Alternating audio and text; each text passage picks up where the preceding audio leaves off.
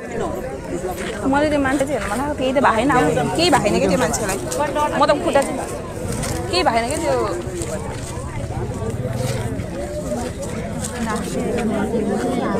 हो sorry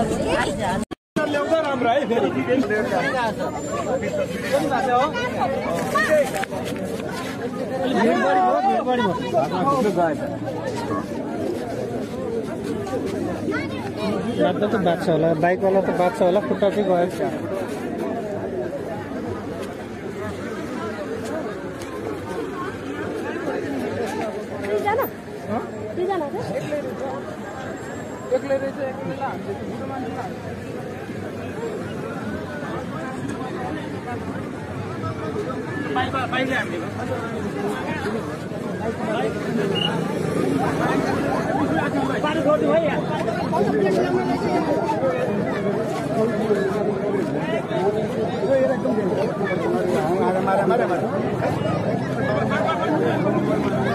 so hey guys जट प्रभुजुग का call जो नेपाल में एक बाइक हादसा हुआ, तब उसी वक्त उसी हादसे में एक बुज़ुर्ग व्यक्ति भी उस हादसे के बीच में आ गए, जहाँ पर दोस्तों बताया जा रहा है कि उनकी एज करीबन 70 के ऊपर थी और वो काफ़ी ओल्ड एज थे। और दोस्तों सैड न्यूज़ ये है कि उस व्यक्ति की उस वक्त वहीं पर मृत्यु हो गई।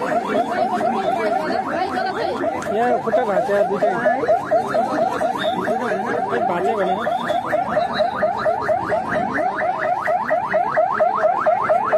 ठुलो दुर्घटना पऱ्यो बजरीमा एउटा बाइकले एकदमै स्पिड एकदमै एकदमै हाई स्पिडमा आएको बाइकले एउटा बुढो मान्छेलाई हान्यो बुढो मान्छे खप्परै फुट्यो